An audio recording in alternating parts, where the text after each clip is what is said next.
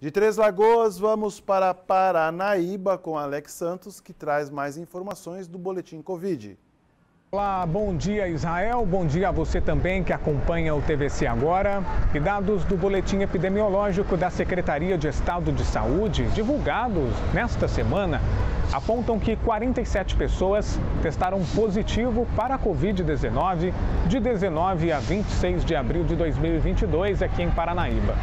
No estado, são 888 pessoas que testaram positivo para a Covid-19.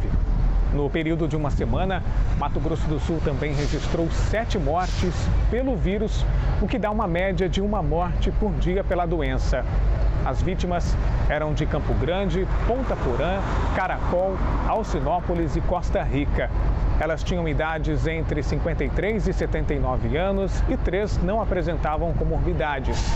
Boletins epidemiológicos com informações oficiais da Covid-19 não são mais divulgados diariamente, e sim semanalmente, no caso, toda terça-feira, de acordo com a Secretaria de Estado de Saúde. A melhora da pandemia, redução do número de testes positivos, internações e óbitos por Covid-19 propiciou o fim da divulgação dos boletins diários pelo Estado. Há atualmente 23 pessoas internadas por Covid-19 nos hospitais do estado, sendo 17 em leitos clínicos e 6 em leitos de unidade de terapia intensiva. Além disso, há 1.629 pessoas em isolamento domiciliar, assintomáticas ou com sintomas leves.